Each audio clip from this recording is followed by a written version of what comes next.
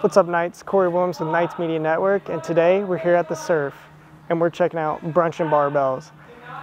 It's about to get started so let's go check it out. Brunch and Barbells took place on Sunday, January 22nd and was a way for students to learn about all the different equipment the SuRF has to offer while also serving a free brunch.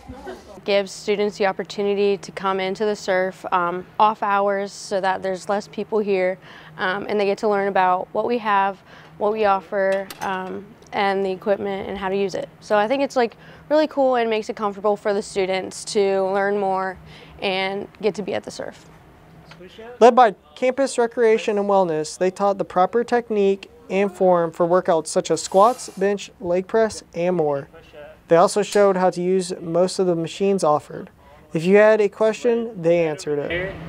Is around 45 pounds to start. I don't want you to just come in here and be like, oh, I hate coming to the SuRF. I have to do all this working out. But it's like finding stuff that makes fun. And it's also like a place for students to like meet other students who are like aren't comfortable coming here. So they have like a like a fitness buddy. Because I was super scared to come in here at first. It was like everybody's here to like improve themselves in some way.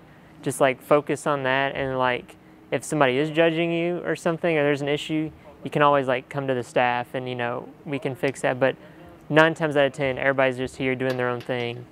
If you feel like you're doing something wrong, most people, if you ask, will be happy to help you. So, if interested, you'll have to wait for next semester for the next brunch and barbells. But don't worry, the SuRF staff is always there to help and teach newcomers to the gym.